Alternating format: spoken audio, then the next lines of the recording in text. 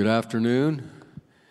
We're still streaming in from the back, so we'll start filling up a bit at a time, but it's a delight to see each one of you here that is here.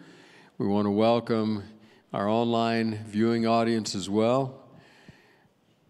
Sometimes on these hot summer afternoons, it's easier to stay home in your La-Z-Boy, right, David, than to come all the way to the sanctuary. but we're delighted to see each of you, especially for a theme and a topic as important as the one in which we're engaged. Uh, as I mentioned last week when I introduced him, I have so deeply appreciated Dr. Jon Paulien and continue to do so. Uh, he's been very helpful to me in the reading and study of Revelation, and I profoundly appreciate that. Uh, if you read his material or listen to him talk, you will understand that he has been interested in Revelation from a surprisingly young age, Jon, from surprisingly early on, very interested in what this final book of the Bible has to say. So we take another step along that journey this afternoon, and we're just delighted and pleased to have Jon Paulien guide us in that. But before we turn our thoughts in that direction, we would like to begin with prayer. Would you pray with me? Lord of grace, we're ever and always grateful to you for your love, your goodness, your compassion, your call on our lives. We're equally thankful for your holiness and your righteousness and the fact that you are a grand and a glorious God. Lord, our desire is to walk with you in deep and meaningful ways, to understand you as the God of our lives and the God of revelation. So bless this afternoon. Bless Dr. Paulien as he presents. Keep our minds open. Help us to grasp and understand in ways that we have not before. So bless us now as our prayer. In Jesus' name, amen. Dr. Paulien, welcome. Delighted to have you here. Thank you.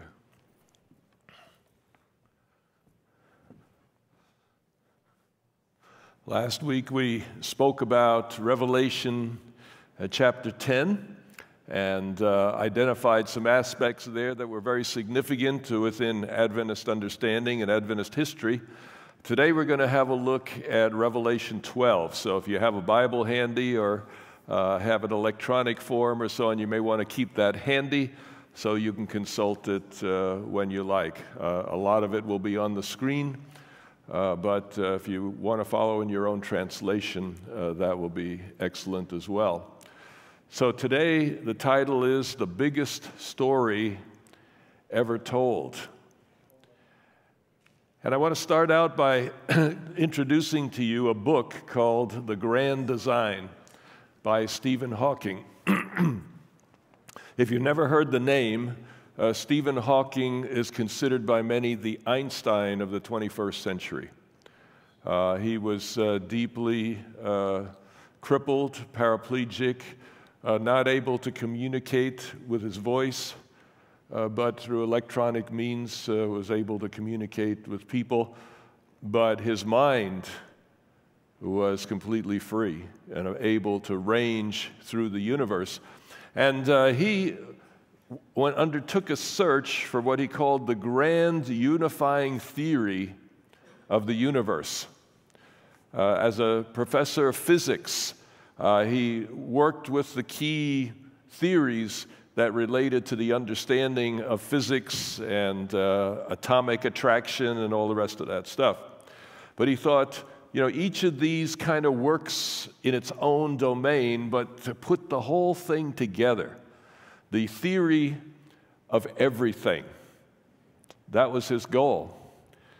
And the fascinating thing to me about this book, which by the way was co written by a scriptwriter from Star Trek, so it's actually rather humorous at times and easy to read. So, I mean, if you're not a scientific uh, person, uh, you'll, you'll find this fairly easy to follow. But what fascinated me was the last chapter where he talked about the grand design. And in this, he, he stated the theory that this universe exists for the sake of human beings. This is no dummy. This is a deeply respected scientist. And uh, he just said there's at least 15 aspects of physics that must be finely tuned in order for human life to exist. You know, just one small example. If the Earth was three million miles closer to the sun, or three million miles further from the sun, life would not be possible here. If the Earth was not tilted 22 and a third degrees, if it wasn't just at that point, a little bit either way, and we wouldn't exist. And he gives at least 15 of those, how carbon is created in stars, for example. If it was just slightly different, we wouldn't exist. 15 different major scientific understandings. If not any one of them was just slightly off, we would not exist. And he drew the conclusion, therefore, that this universe exists for the sake of human beings. And it's a theory that's taken very, very seriously. In fact, he drew the conclusion the chance that the universe would be this fine tuned for human beings is 1 in 10 to 555. You know what that is? One chance in 10 with 555 zeros after it. So you're saying there's a chance? All right. So, uh, why would Hawking be an atheist then? If there's one chance in 10 to 555 that this universe could have happened by chance. His conclusion is there must be 10 to 555 universes, each of them different each of them with different physical laws, etc. This happens to be the one where human life can exist. I don't know how convincing you find that workaround, but Hawking made an amazing case that this universe is not an accident. Well, the Seventh day Adventist contribution to theology is a grand unifying theory of the universe. It's the great controversy. And Revelation 12 happens to be the crucial text. If Revelation 12 isn't there, we probably don't have a cosmic conflict understanding as uh, Seventh day Adventists and many others, such as C.S. Lewis and, and John Milton, had. But Revelation 12 is the crucial biblical text. And so it tells the biggest story ever told a universe at war, good versus evil, Christ versus Satan. So the story begins at the beginning of chapter 12. And it's a big story from the birth of Jesus all the way to the final events of Earth's history. And there's three key characters introduced in Revelation 12, 1 to 5. And here's a piece you need to understand. In the book of Revelation, whenever a new character is introduced, John tends to hit the pause button on the vision. You know, you have the vision sort of scrolling by, then he hits the pause button and he takes a moment to describe the character and then give a little bit of the character's backstory. This happens over and over uh, in the book of Revelation. A new character appears, visual description, backstory. All right? So that's important to know that that is the case. So you get a visual description and a summary of that character's previous history. So it's as if you were watching a film and a new character walks in the door and everything freezes and a voiceover says, you know, this is so and so and this is why he's in the story, etc. So this is what happens when new characters appear in the book of Revelation. So, Character number one, the woman.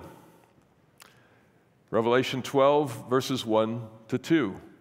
A great sign was seen in heaven a woman dressed with the sun. The moon was under her feet, and upon her head was a victory crown of 12 stars. She was pregnant and she cried out in pain as she labored to give birth. Now, take a look at that text. New character appears. All right? Verse 1 visual description. Dressed with the sun, moon under her feet, victory crown on her head, 12 stars in it, right? You have a visual picture of this woman. And then the backstory. She was pregnant and she cried out in pain as she labored to give birth. All right, so that's the context. The woman appears, you get this context, and then she freezes again to move on to the next character. So the author's introducing characters one by one so that when the vision starts to move, you know what's going on. All right? So, generally, uh, Seventh day Adventists, in interpreting this text, interpret the woman as Old Testament Israel. Uh, she is the people of God in Old Testament times, and she gives birth to the Messiah. And then she moves on in the story representing the church uh, in the New Testament. So that's the, uh, the basic historical understanding. All right, character two the dragon. Another sign was seen in heaven a great fiery red dragon with seven heads and ten horns, and upon his head seven crowns. His tail dragged down a third of the stars of heaven, threw them to the earth. The dragon stood before the woman who was about to give birth, in order that when her child was born, he might eat it up. So, once again, you see visual description a dragon up in heaven. It's fiery red, it's really big, seven heads and ten horns, and upon his heads, seven crowns. So you have that visual perspective of the dragon. But then there's the backstory. His tail dragged down a third of the stars of heaven, threw them down to the earth. And the dragon stood before the woman who was about to give birth in order that when her child was born, he might eat it up. All right? You're set with the dragon's role in the story. Traditionally, as Seventh day Adventists study this passage, we understand the dragon to be Satan. It says as much in verse 9, but also Rome. Because you'll remember in the early story of Jesus, when Herod hears that a new king is born, he wants to find out who that king is. When he doesn't get any clear information, he says, okay, then all the babies of Bethlehem have to go. Because I want to make sure that the one that will take my place doesn't make it. So the dragon is Satan, the dragon is also Rome in the person of Herod. All right? Character number three the male child. And this is verse 5. It says, She gave birth to a son, a male child, who is about to shepherd all the nations with a rod of iron. And her child was snatched up to God and to his throne. All right? So here you see new character enters the story. But Where's the visual? No description of this baby. And where's the backstory? There's none whatsoever. Instead, you get a story of the future. This is what the child will do one day. So, what's wrong here? New character. Why aren't we getting a visual description and a backstory? Well, in the book of Revelation, multiple characters can represent the same person or entity. For example, Jesus is the Son of Man, besides being Jesus, and he's the Lamb. Uh, Satan can be the dragon and the serpent. The church can be the woman and the remnant. All right, so in the book of Revelation, characters can represent multiple characters can represent the same entity. That means that this male child has been in the story before. Doesn't need an introduction. The male child is Jesus from his birth to his ascension. So, in the story, the dragon is poised, the child is about to be born, the woman is crying out in pain. And historically, the woman representing Israel, the dragon representing Satan or Rome, the baby representing the earthly Jesus. All right, so that's familiar territory. But I suggest today, let's stay with the story. Because sometimes we jump so quickly from the text to history that we lose track of what's going on in the text itself. The story has three characters in it the dragon, the woman, and the male child. And the question is where do these characters go next? The male child, it says already, was snatched up to heaven. So there's motion in the story. What happens with the other two characters in the story? Well, in verse 6, it says that the woman fled into the desert where she had a place prepared for her by God in order that she might be nourished there for 1,260 days. So the baby's snatched up to heaven. The woman goes out into the desert what does the dragon do? Well, for the moment, we'll leave the woman in the desert. We won't have take the time to pursue her today. But I just want you to, to see that there's a story working itself out. And when you follow the story, you discover some things you might miss otherwise. In verse 7, it tells us what happened to the dragon. It says there was war in heaven. Michael and his angels gathered to fight against the dragon. And the dragon and his angels also fought. So the dragon doesn't stay where he was. He doesn't chase the woman into the desert. That happens later on. But what he does is follow the male child up to heaven. So there's movement in the story. First of all, in verse 7, the dragon follows the male child up to heaven, and war breaks out there. In verse 13, he chases the woman out into the desert. So, as you read through chapter 12, there's an unfolding story that is taking place. So, let's go back to the war in heaven now. The dragon has gone up to heaven, and it says there was war in heaven. Michael and his angels gathered to fight against the dragon. And the dragon and his angels also fought. And the dragon was not strong enough, neither was a place found in heaven for them. New character again. His name is Michael. By the way, did you notice the male child disappears from the story? In fact, never appears again. This male child shows up in verse 5, exits in verse 5, and is never seen again. So, who's this Michael?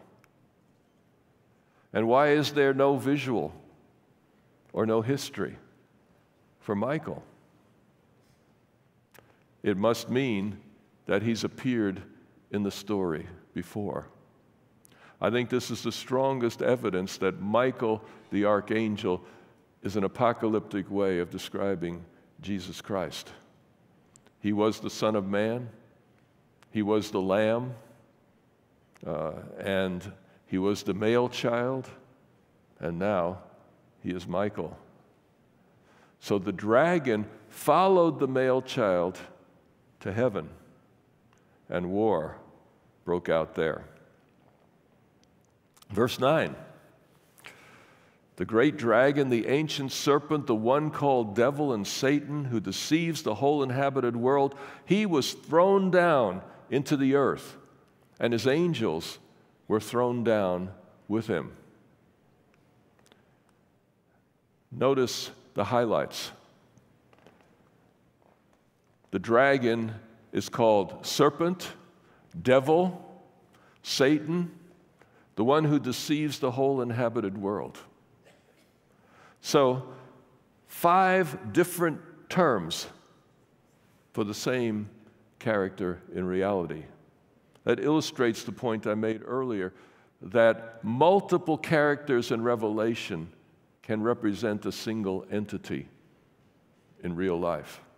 So Satan is described in all these different terms. And by the way, notice the nature of these titles. Satan is the dragon. What do you think of when you think of a dragon? Is the dragon cuddly? Would you like one for a pet? No, all right? They're terrifying. They're huge. They're intimidating. They have the power to kill. Dragons use force to get their way. So, one of Satan's methods is to use force, to force people to follow him. But the term serpent reminds us of the Garden of Eden, doesn't it? Reminds us of deception. The term devil It means slanderer, one who says nasty things about others. Deceiver, someone who tells lies. So Satan's strategy is to use force and to use deception in order to get his way. Keep that in the back of your mind as we move forward. But this ancient serpent reminds us of Genesis 3, where Satan was telling lies about God. And then comes verse 10. And in verse 10, it says, I heard a loud voice in heaven saying, Now have come salvation and strength, and the kingdom of our God, and the authority of his Christ. For the accuser of our brothers, the one who accuses them before the throne of God day and night has been cast down. And they overcame him by the blood of the Lamb and the word of their testimony, and did not love their lives unto death. So in verse 10, what are we talking about here? Now has come the kingdom of our God, the authority of his Christ. Where in the book of Revelation does that happen?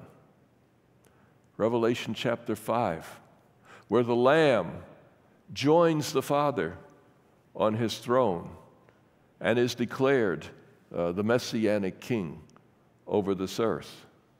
So, the moment when Jesus is enthroned in heaven is the time of his ascension to heaven after the cross. He ascends to heaven. And there's reference to the cross in verse 11. They overcame him by the blood of the Lamb. So, in the context of the cross, there's a battle in heaven, and Satan is cast down from heaven. So you have Christ equals male child equals Michael. You ask the question when was this casting down? If it happened in relation to the cross, what about the beginning of time? Wasn't Satan cast down then as well? And the answer is that is true. But do you remember, as part of the backstory of verse 5, what did it say? The dragon took a third of the stars out of heaven to earth. There was an earlier casting down, and as Sigve Tonstad uh, likes to say, uh, that Satan was cast down the first time physically. But the second time he was cast down in terms of influence. If you go back to the book of Job, you find that even though Satan has lost his place in heaven, he's lost his citizenship in heaven, he still has a visitor's visa. He shows up in the heavenly court. All right? So the casting down originally was a partial one. He was physically removed from heaven and his angels with him, but he nevertheless did show up again from time to time to attempt to influence things. But after the cross, things became so clear to the inhabitants of heaven that he was no longer welcome there. And so after the cross, he is cast down from all influence in heaven. So it's at the ascension and the enthronement of Jesus, and we would date that AD 31, when Jesus uh, rose from the dead, ascended to heaven, was enthroned there in heavenly places. That was the time of Revelation 12:10. And this is supported also by John chapter 12. Perhaps you've noticed this text. Jesus speaking says, Now is the judgment of this world. Now will the ruler of this world be what? Cast out. Same word as Revelation 12. Cast out. And I, when I am lifted up from the earth, will draw all people to myself. When was Jesus lifted up from the earth? In the cross and also in his ascension. It is in that context that Satan is fully and finally cast down. So, the story in Revelation 12 surprises us with the connections and one thing that follows after another. But the question arises what kind of war is this? Are there tanks and planes up in heaven? Artillery? Drones? you know, what kind of war is this? Let's go back and take a closer look at the text we've just covered, and I think we can find the answer to that. One option I could think of, of course, is lightsabers, right? You know, that would be really contemporary. But I don't think so in this case. What about arm wrestling? Okay, is that what's going on up there? Or is it a war of words? Is it a battle for minds? Is it a battle of ideas? Let's go back to verse 4, and it speaks of the tail of the dragon. The dragon succeeded in getting a third of the stars out of heaven, which I understand to be the angels of heaven. One third of the angels left heaven with Satan in the original casting down. But the method that he got them out of heaven was his tail. He dragged a third of the angels of heaven down with his tail. Revelation is a symbolic book, and the key is often in the Old Testament. Isaiah 9:15 has this intriguing statement. The elder and the honored man is the head. The prophet who teaches lies is the tail. Satan used lies to persuade a third of the angels to leave with him. They must have been very good lies. They must have been very believable lies. They must have seemed very close to reality. So the tail of the dragon represents the lies that Satan told in heaven. In verse 9, he's called the ancient serpent, which reminds us of the Garden of Eden, telling lies about God. In verse 10, he's the accuser of the brothers and sisters. So he's not only telling lies about God, he's telling lies about you and me. And whenever a voice in the back of your head says, You'll never be good enough, you're worthless, you're hopeless, that's not God's voice. That's the accuser. So the accuser of the brothers and sisters reminds us of Job 1 and 2, where Satan is accusing God of sheltering Job and accusing Job of not being nearly so goody goody as he looks. He's accusing God through his accusations against Job. Verse 11 they overcame him by the word of their testimony. Do you see? It's a war of words, it's a battle of minds. And the issue at stake is the character of God. So, what are the weapons in that war? On God's side, blood, word, self sacrifice.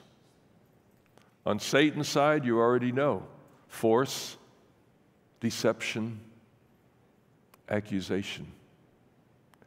If you want to know where God is at work and where Satan is at work, look at the character of those who are representing God or Satan. Satan uses force, Satan uses deception, God uses truth, self sacrifice, persuasion. Very different methods to establish their authority. It's a battle over the character of God. Is God the way he claims to be? Or is he the way Satan portrays him to be? And I would suggest that Satan, in a sense, is projecting.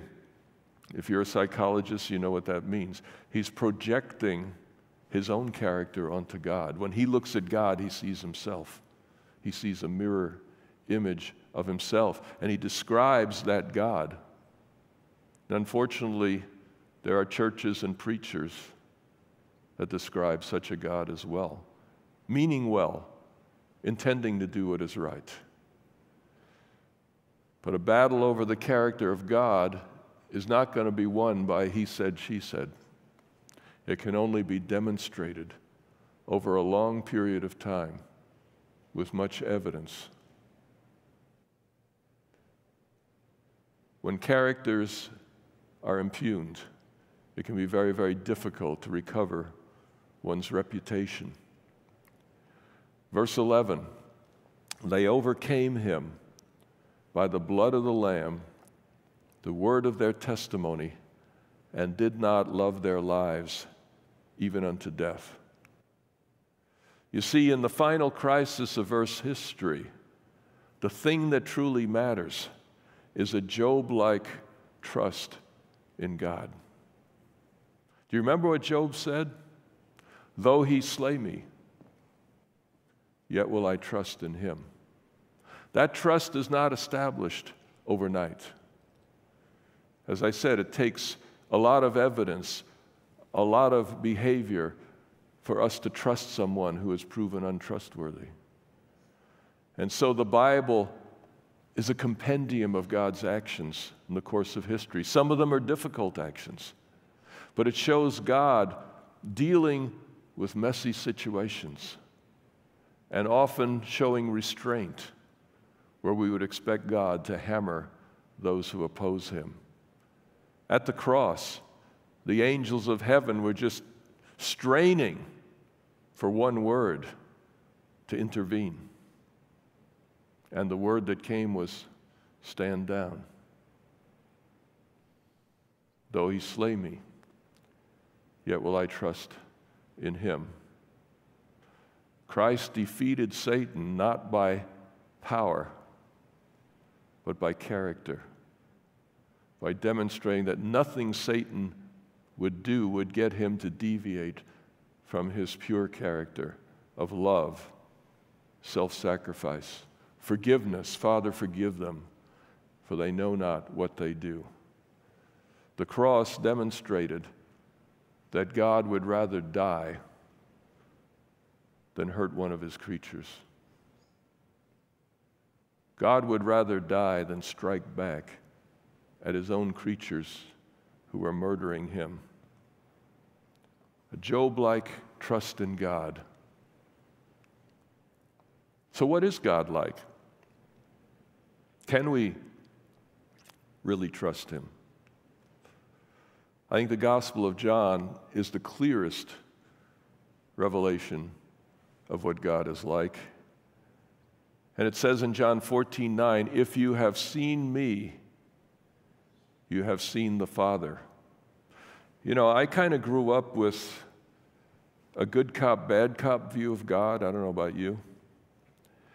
And in that picture, the God of the Old Testament was this scary, judgmental, violent, forceful character. The God of the New Testament is sweet and kind and, and, and merciful and forgiving. And, and I struggled with putting those two together. But in John 13, it tells us that Jesus knowing who he was, knowing where he came from, knowing where he was going, took off his outer garment, put a towel around his waist, and began to wash his disciples' feet. The foot washing was not an accident. It wasn't a nice thing that one human being did for another. The foot washing in John 13 was a demonstration of what God is like.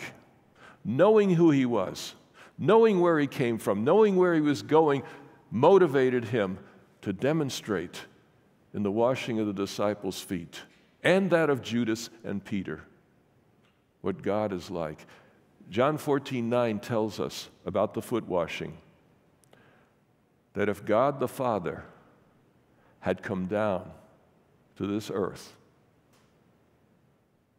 and become a human being, he would have been no different than Jesus. That good cop, bad cop view of God just doesn't work.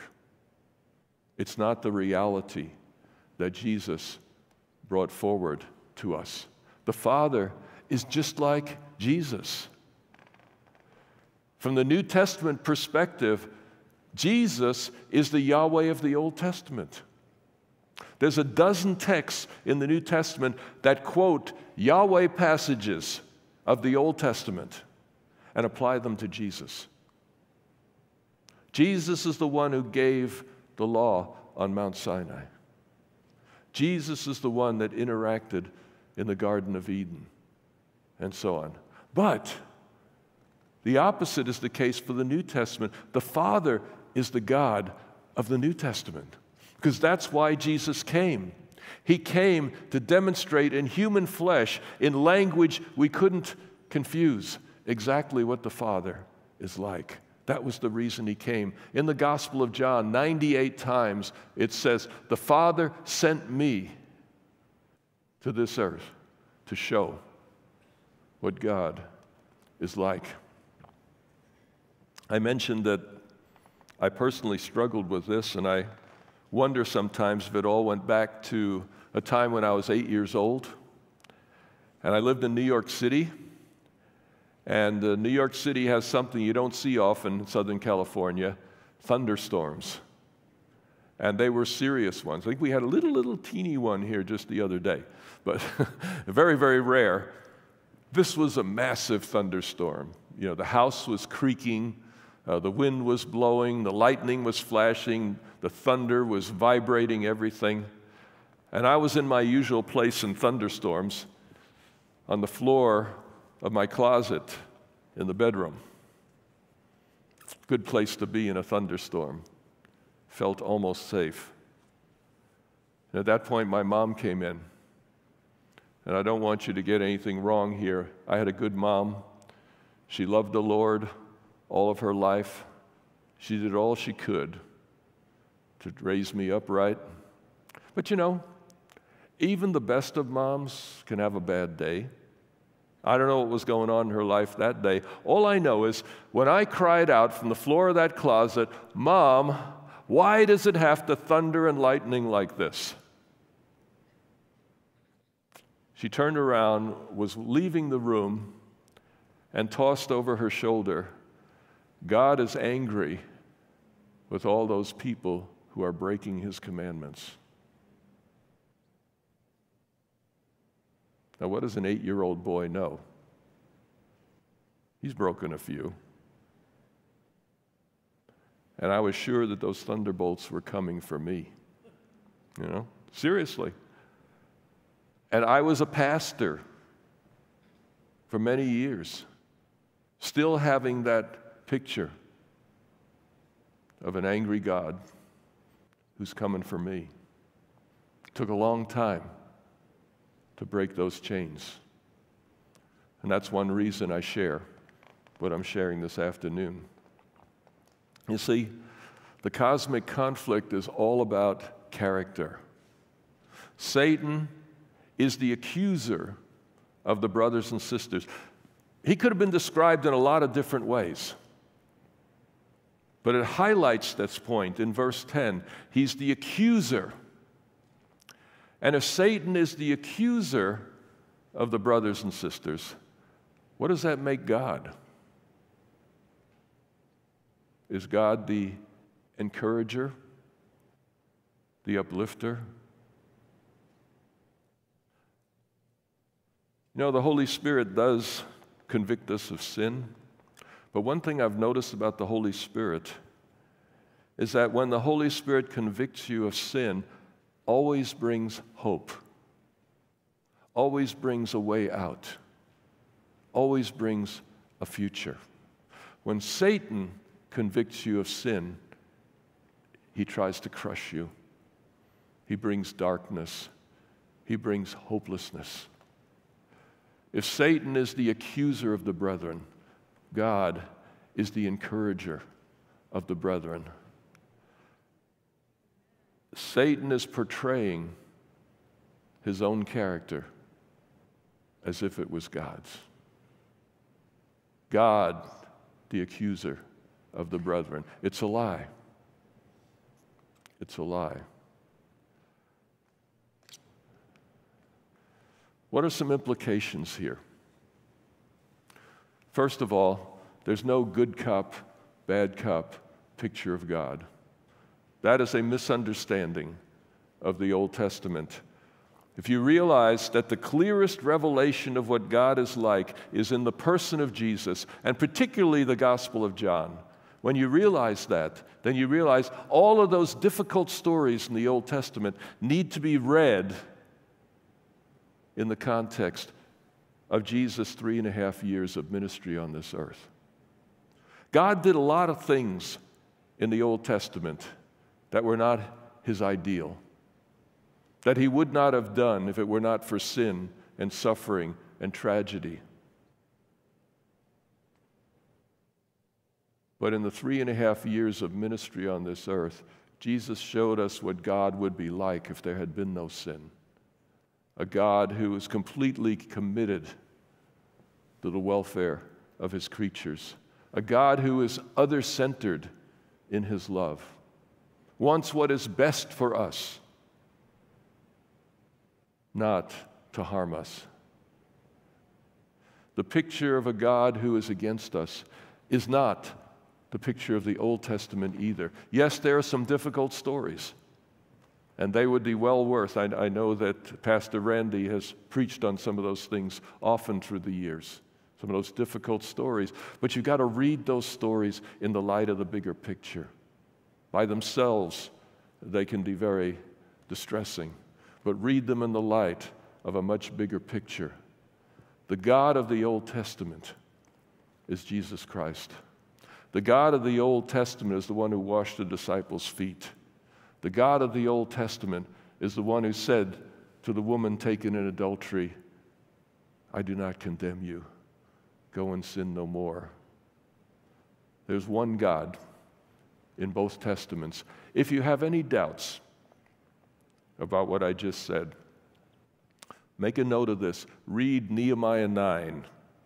It's about 40 verses long but it comes at the very end of the Old Testament. And Nehemiah 9 tells the story of Ezra reviewing the entire history of the Old Testament, starting with creation, uh, moving to uh, Abraham, moving to the Exodus, moving to the judges, moving to the monarchy, working its way to exile and beyond. It tells the story of the Old Testament. And there's two messages that come out in that story. Number one, God is gracious, God is merciful, God loves his people. But they rebelled against him.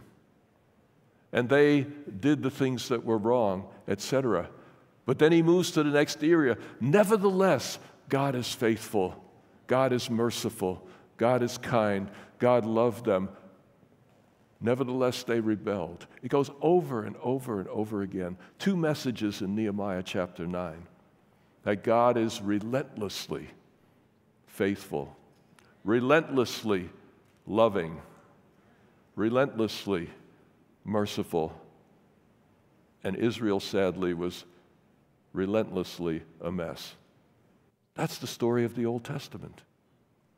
You read it out of the context of Nehemiah 9, out of the context of John 14, and you can get a distorted picture of what God is like. God took a big risk in allowing many of the stories that end up in the Old Testament, but read in the light of Jesus, they ultimately make sense. There's implications in the cosmic conflict for religion and politics as well. The cosmic conflict is universal. Every planet is involved. Every nation on this earth is involved. Every religion is involved. Every political party is involved. Every human being is involved. We are all part of that cosmic conflict. And you know what that means? That means that God is at work in the Democratic Party. And Satan is at work in the Democratic Party. God is at work in the other party as well. And Satan is at work. God is at work within Islam. And Satan is at work. That's what the cosmic conflict implies. And what it means is that we can never give our ultimate allegiance to any earthly entity. God is at work in the Seventh day Adventist Church. Is that the end of the story? No, it's not. The cosmic conflict is universal. And every experience of our lives, every encounter, Everything we get connected to is all part of this much bigger picture. We can never give our ultimate allegiance to a political party, to a nation, or even a religion, because ultimately we must obey God rather than human beings. And sadly, religions often get it wrong. And so our allegiance to God must be to Him first. Some other implications, though. This is a very important biblical concept. You become like the God you worship. If the God you worship is severe, unforgiving, judgmental, cruel, you become more and more like that. If the God you worship is gracious, kind, loving, forgiving, you become more and more like that. It's a law of life. By beholding, you become changed. If you want to know what your picture of God is, ask yourself how do I treat other people? You become like the kind of God you worship. So, this picture of God thing is really, really critical to who we become in this life. Jesus is the clearest revelation of God that ever was or ever will be. But here's the exciting addition to that you are the clearest picture of God some will ever see. You are the clearest picture of God that some will ever see. When we take the name of God, when we join a church, and by the way, don't, don't think that I'm speaking against the Adventist church or any church specifically. I'm simply saying when you identify with a church, your behavior tells the world what God is like. When you say, I'm a Christian, I'm a follower of Jesus, people assume that God will be like you, that you would become like the God you worship.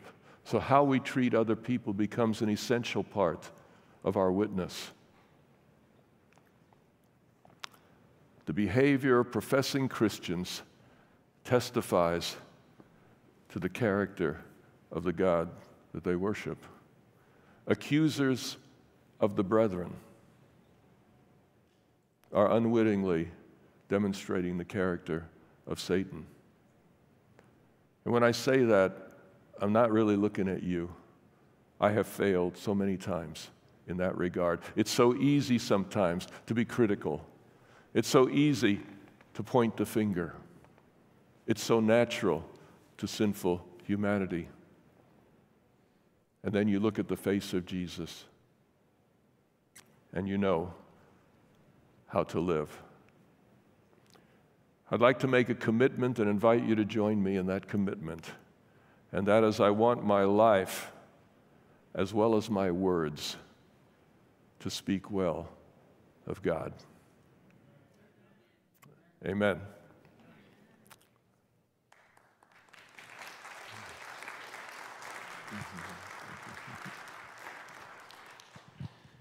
Jon, I so much appreciated all of what you said. I loved where you ended with that closing commitment because that really is the, the profound and the ongoing commitment of those of us who are privileged to walk with Jesus, to journey with Jesus. So, as you were talking, I was thinking about this focus on the character of God, which I agree with profoundly, and how different that is from how I experienced revelation in my earlier years in ministry. My early years in ministry, our revelation seminars were focused on our beliefs as a, as a church, as a denomination. I understand the importance of that, and I don't mean to be overly critical of it. But it's a very different approach and so I guess one of the questions I want to ask you to start with, and by the way, we want to hear your questions, but I want to start with a question or two here. When you look at your years, and there have been many years of studying Revelation, is there any way you can identify the most important impact that study has had on you as a person? Is it that closing commitment? Is it something else? What's been the most meaningful impact on you? Well, I think the book of Revelation is important, uh, particularly for some reasons we'll get into in the next couple of, of sessions. Uh, it won't be next week, but the week after, and, and August 26th. Um, so we'll get into some of those things. The book of Revelation, in a sense, I think we mentioned this last time, is like value added. But for me, I think it was the book of Romans and the Gospel of John. You know, what, what I shared today, the foot washing. And so, I mean, that, it just blew me away. Foot washing story, I've known it all my life. But to read verse 3 of chapter 13 and realize that Jesus did that consciously as a demonstration of what the Father would do in the same situation. I mean, that just blew me away. And uh, so that was, a, that was a very critical point, uh, I would say. And then in Romans, um, the discovery of a God who, as it says in Romans 3:24, uh, we are say, justified freely by His grace, which is using the word for grace and gift twice to really maximize it, to multiply it. We're justified freely by His grace, uh, meaning that no amount of praying, uh, no amount of preaching, uh, no amount of giving out of tracts, uh, none of that earns in any way God's favor. His favor is given freely. And it's the discovery of that fact that liberates us from the burden of performance. It doesn't mean we stop performing, but we now perform freely. We, it's a gift that we can give to God and give to others. Whereas before that, I think all of my ministry was simply trying to make God happy so that He would save me ultimately. You know, if I did a good enough job in the ministry, maybe I would make it too, you know. And I'll be honest about that. That's, that, that was in the back of my mind and a lot of that. It wasn't until I was freed to realize my salvation's not at stake here. And that means if I do something good for anyone else, it's a gift. It's a free gift. I'm not earning anything. I'm simply saying, Thank you, God. I'm going to I'm to do this because uh, I just love trying to be more and more like you. So, uh, wanting to be like Jesus, you know, is more than just a statement. It's, it's got to be a way of life. Uh, and for me, that's, uh, that's become a way of life. Doesn't mean getting there, it just means that's the desire, that's the goal, that's, that's what I live for. That's so beautiful because that, I think, captures so much, not only of Romans and of John, but of the New Testament as a whole. But it, it, it comes back on the book of Revelation now. So that's, that's where you started with that question. I wouldn't say it was the book of Revelation that changed my thinking, but as my thinking changed on the basis of other parts of the New Testament, Revelation became a new book as well. Wow, that is beautiful.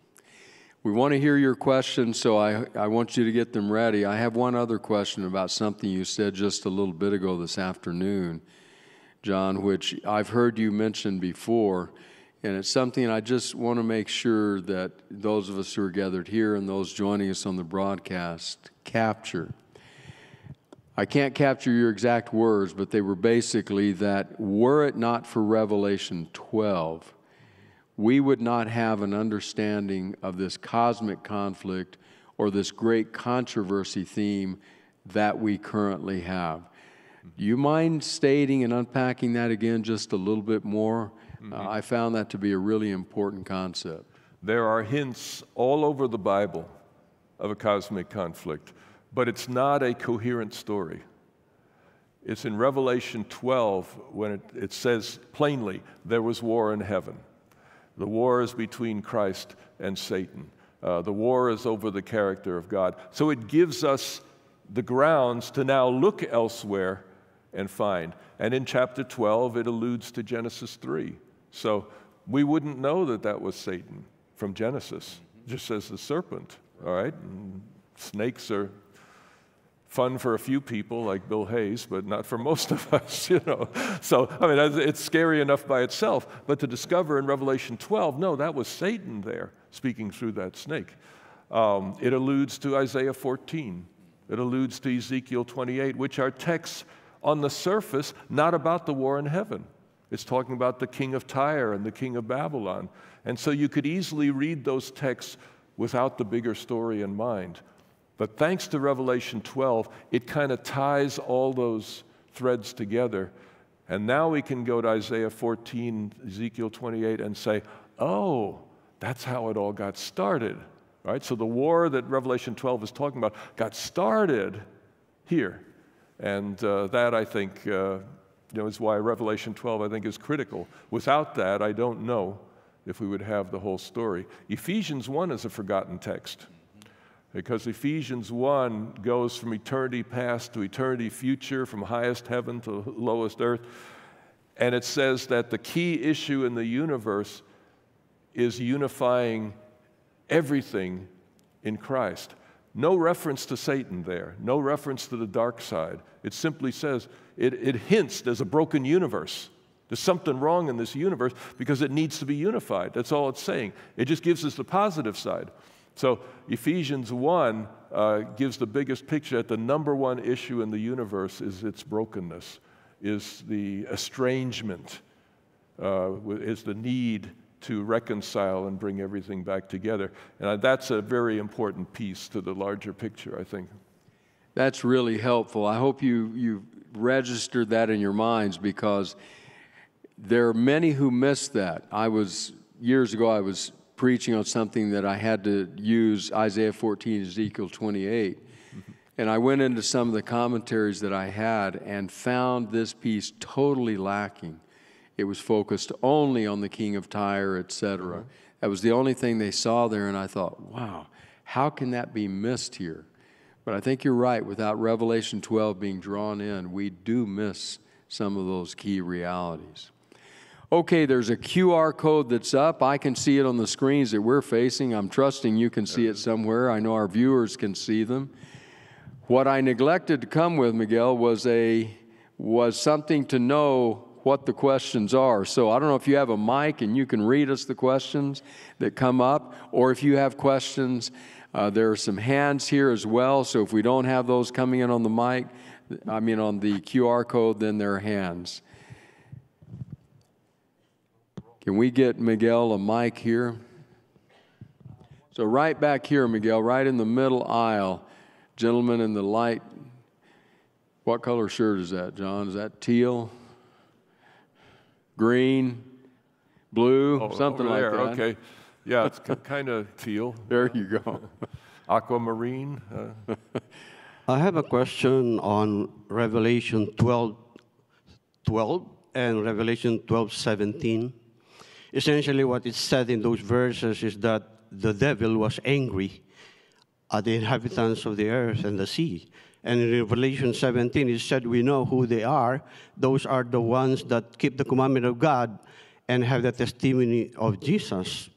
Now, it comes to my mind that the center of the controversy, as we are taught in the Seventh day Adventist Church, later on, one of those is the, the, the fourth commandment, which is at the center of the Ten Commandments, keeping the Sabbath day holy. Now, it brings to my mind the teaching of Seventh day Adventists that said the Sabbath is the seal of God, and the mark of the beast is Sunday keeping, which will be manifested later on when the Sunday law is proclaimed or instituted. And it brings to my mind uh, Dr. Jon Paulien's lecture that I saw in YouTube, I think sometime back in uh, California conference, where he said Sunday law may or may not happen, and or could could not happen, and this bring a question to my mind. If that is so, that it will not happen, then is it wrong then that what we're teaching that the Sabbath is the seal of God and the mark of the beast is Sunday keep Sunday keeping? Okay, thank if you is for your so, then question. You got quite an extended. We've we've covered several things in there, so we want to keep it focused and as short as possible. But I know you're going to address some of these things dealing with remnant and so forth in a mm-hmm. couple of weeks. I don't know how much you might want to speak to here. yeah, a lot, a lot of what you're saying we will address uh, the next couple of sessions uh, uh, as well. But I, I do want to speak to the question that you are raising. Uh, I think that has been widely misunderstood. I think some of the critics never watched the first two parts of that series, and therefore they didn't have the background to understand what I was saying. And so I think it's been mischaracterized to a large degree. It is very, very clear within Revelation itself, these connections seal of God, mark of the beast. All right? Uh, the mark of the, it doesn't say Sunday in Revelation 13, but it's clearly a counterfeit of Sabbath. So uh, the uh, interpretation that has been given traditionally in the past, I think, is very sound. Uh, the specific question is what concerned me, and the reason for that whole series, is I found out during COVID, doing seminars around the world, that the number one subject of conversation is a Sunday, national Sunday law in Congress. And that was based on two statements that Ellen White made in 1888. She never made them before, she never made them after. But at the time she made them, there was a Sunday law in Congress at that very moment. She was talking current events. And I have no question that if Jesus had come within the next five or ten years, that that's exactly what would have happened. What concerns me is when you take such a specific item and you're looking for that. People around the world are looking for that. That will be for them the sign of the end. And as I've studied biblical prophecy, classical prophecy, classical prophecy is about what could be. Take the story of Jonah, for example. It could be, God says, Assyria is marked for destruction. Now, Jonah says, 40 days, it's going to happen. But Assyria repented, and God, in His grace and mercy, forgave them, and Assyria survived uh, to live another day. So there are so many prophecies in the Old Testament that when you get to the fulfillment, it's often a surprise. And so my concern was not to undermine the teaching of Sunday law and all the rest of that. My concern was that if people are focusing on this specific thing, a law passing in Congress, as the sign you know, that things are about to happen, I was concerned that when you read it in that inflexible way, uh, it could lead us into trouble. Keep in mind, the Pharisees were very careful students of prophecy, and they had charts of end time events, of what would happen when Messiah comes. And they were so specific that when Messiah came, they rejected him because he didn't meet what they were looking for. He didn't fit with their expectations. So, the whole point of my series was not to trouble the saints, except in this sense. Don't be so certain of every detail that if God chooses to do things a little bit differently, that you will end up on the wrong place. In that fact, was my concern. That's happened in the past. And if you look at the 2,000 years of Christian history, Leroy Edwin Froom, yes. The success rate of predicting specific things in the future on the basis of Bible prophecy is very, very low. It seems to me, in fact, that it is much more common that prophecy is understood in retrospect uh, rather than in prospect. So one of the one of the approaches to Revelation says, uh, "Be very clear about the big picture pieces. Be more tentative about the details and the small fine print." Below and, and be cautious about being too dogmatic about some of those elements, which I think Yeah. flows out of what you're saying. Well, I could point out Isaiah 11. You have a prophecy of uh, Babylon's fall, and it has four details.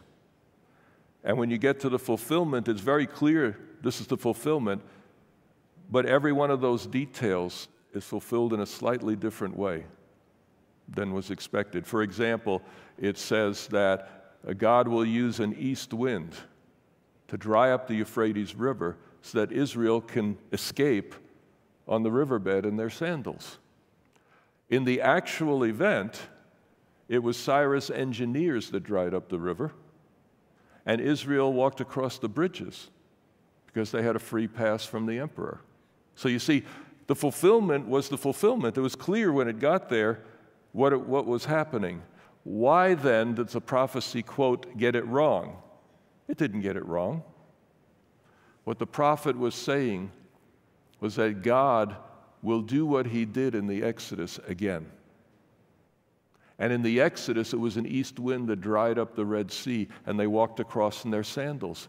He says, What God did in the Exodus, he will do again. But if you made the prophecy too specific, you would end up missing the real thing when it came. So that's my concern.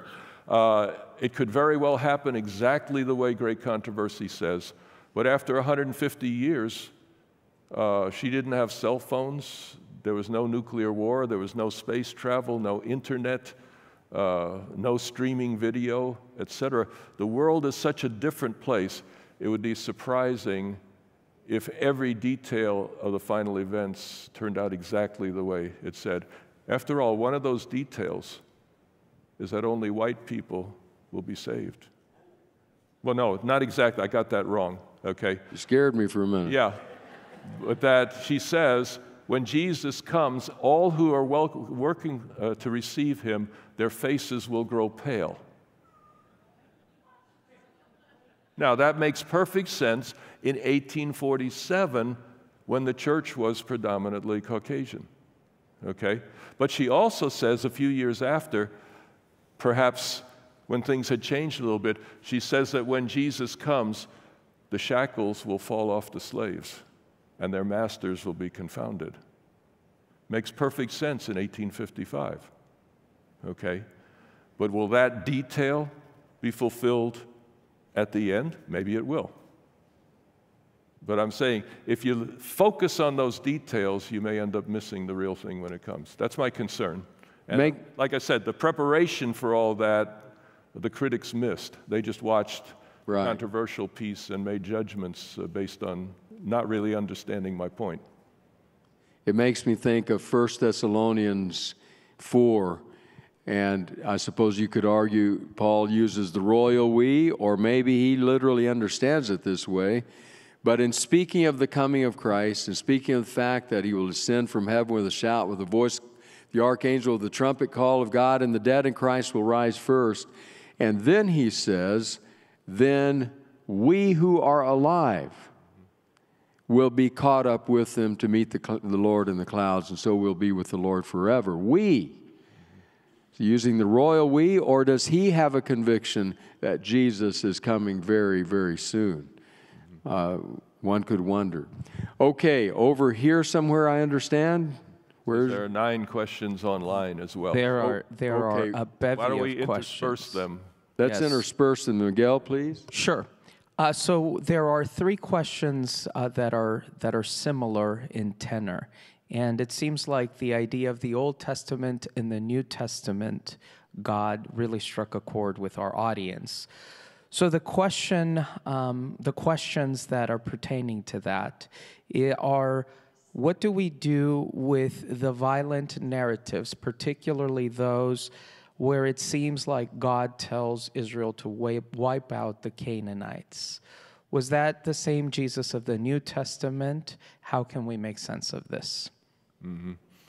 Yeah, excellent questions, and, and I'm probably not prepared to speak in detail in relation to that. But once again, there are some certain texts in which God acts in ways. Uh, let's just take the flood story as an example. And uh, if, if you understand that to be a judgment of God uh, directly, then uh, one would say, well, God wiped out men, women, and children. You know, so I mean, you can look at that story and develop an idea of God. But when you look at the Jesus of the New Testament, is there another way to read the story?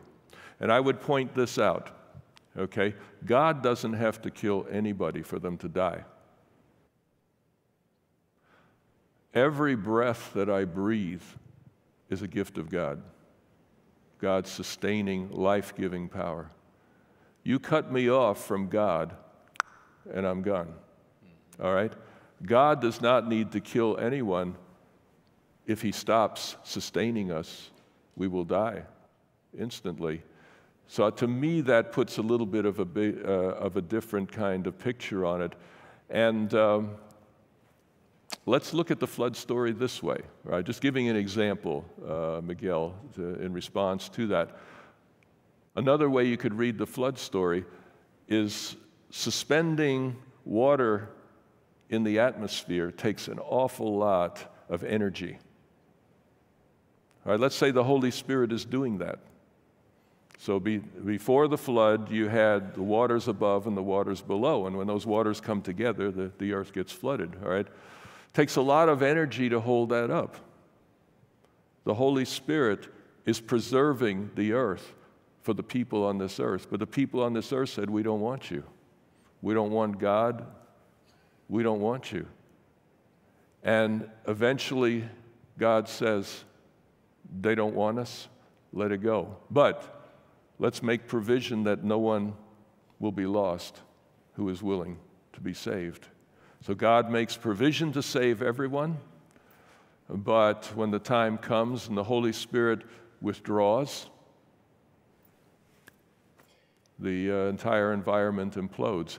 Interestingly enough, when Ellen White talks about the end of time, she describes it as the Holy Spirit withdrawing from the earth. Right, right. And so, that to me is if the flood story is a model for the end time, then you go back to the flood story, the Holy Spirit withdrew from the earth, and the earth collapsed of its own weight. So, it's a judgment of God, yes, but it's not a judgment of God smiting the earth. Uh, it's a judgment of God reluctantly backing off because he's not wanted. Exactly. So to me, that could put, and, and you know, we could go through those stories and explore uh, each of them in that way. But uh, that maybe will be helpful for now. Thank you very much. A hand toward the back.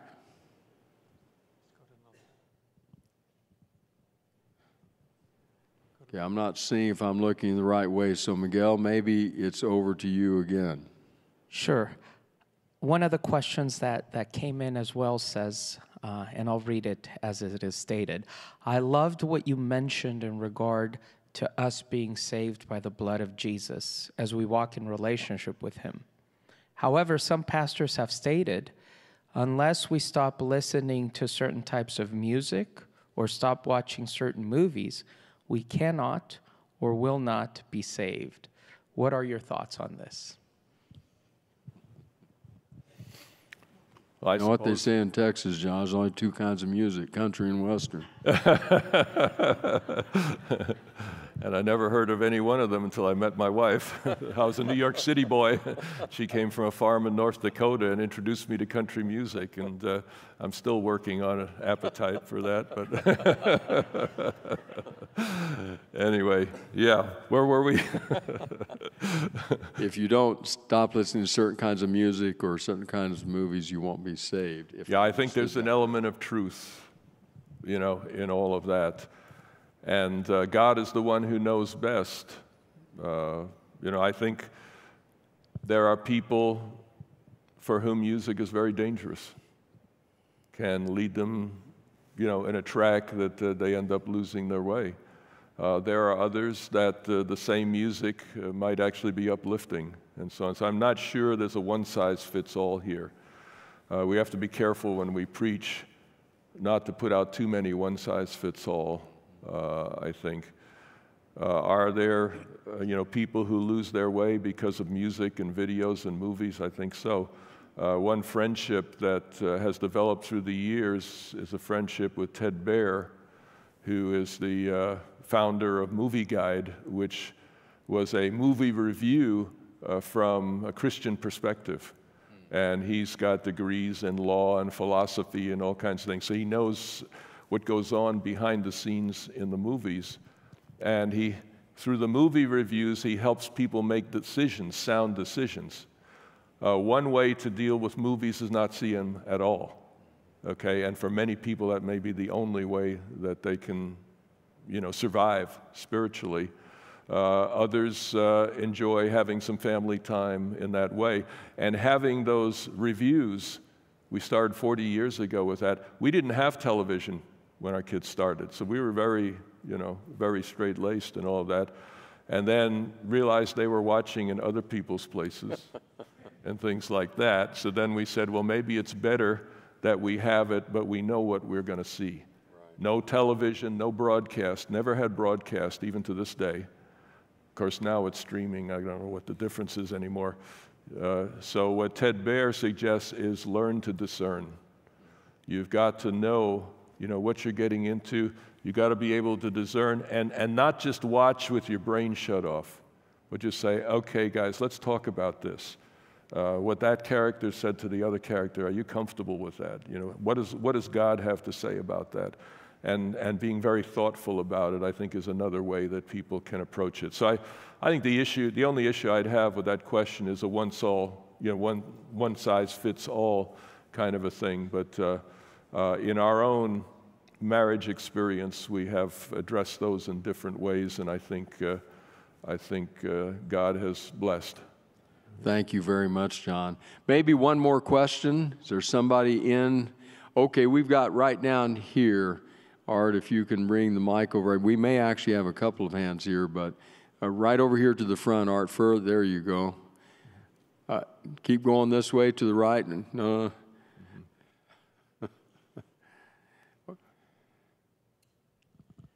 Uh, last week, uh, you um, and uh, mentioned that the gospel would be uh, expanded at the end of time. And I was wondering, have you written about what that delineates in detail uh, and what that entails? Okay, have I written about what? Uh, You mentioned last week that at the, at the end of time, the gospel would be promulgated one more time. One more time. Yeah. Yeah. Okay, Art yeah. right here on this side as well. Yeah, Yes. and the gospel, it's the same gospel. Uh, there's at least eight versions of the atonement in the New Testament itself. So, you know, settling on one explanation for how we are saved, et cetera, is probably not God's intention. Uh, but uh, the, the essence of the gospel is that God is on our side. The essence of the gospel that God is centered on us, desires our best good. And I think so many of us feel like we have to earn God's favor. Uh, that was the whole thing during the Reformation, you know, people having to buy forgiveness from God. What a horrible picture of God's character that is. That there's a God who would demand, you know, payment, demand blood, etc., in order to forgive. And uh, so I think, uh, you know, the gospel remains the same, but it's a gospel in an end time context. And uh, that's one reason I think the Bible has so many pictures of the atonement. If you think of sin as a debt that you owe, what's the solution? Forgiveness. It's a banking metaphor, you see, forgiveness. Uh, if you believe that you are guilty in God's judgment, that's sin. That's the problem of sin. What you need is justification. You need acquittal by the judge to be freed from that guilt. Uh, if you think of sin as being dirty, it's a sanctuary metaphor. You need cleansing.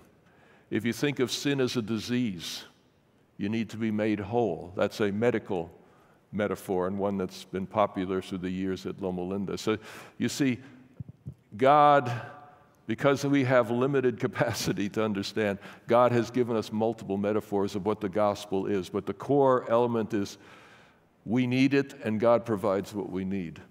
And that gospel, in the end time context, may have new metaphors, uh, new ways of expression that will be more powerful today. I think, Jon, the first time I, years ago now, I guess, came across that concept of the different models in the New Testament was from a scholar named Jon Paulien, and it was very helpful to me. Thank you very much. Annette? Dr. Paulien, I just needed clarification on when you mentioned fol- Satan followed the male child to heaven. So he still had access to heaven after Jesus was born? So she's asking uh, uh, the male child was caught up to Satan. Uh, did Satan still have access to heaven after Jesus was born? Did I get that right? Well, Jesus seems to say that the cross is the decisive event that casts him down. When Jesus is lifted up from the earth, uh, that's the context in which Satan is cast down. Uh, so, what the cross did was convince the unfallen universe that Satan's a liar and, and he's lost his credibility in heaven. Uh, at the moment of the ascension, is apparently where this final struggle takes place. And it's interesting, in Revelation 5, you have Jesus joining the Father on his throne, no mention of Satan whatsoever. So Satan was cast out, and then Jesus could be enthroned uh, as the ruler of this earth. See, remember in Job, Satan came up as the ruler of this earth. He came up just to, to represent his people, so to speak all right, and talk about Job and everybody else. Um, once Jesus is enthroned in heaven, then he's the one in charge of this earth, and Satan has no more authority. Unfortunately, uh, we on this earth haven't quite figured that out yet, and so he still has quite a bit of power here. But his power is greatest, the accusation power. If you allow him to accuse you, that will harm you more than a bad movie. You know, if you are deeply discouraged and, and don't really believe that God will accept you, uh, He's got you. Uh, you're His, you know. So, so, this whole idea of who God is is critical for us to believe that there's hope for us. And that's why I think it's so important to emphasize that. I want to thank Jon again for this afternoon and for the continuing insights. Uh, the longer I spend with, read about, study, and listen to teaching about Revelation, the more in admiration I am of that amazing document.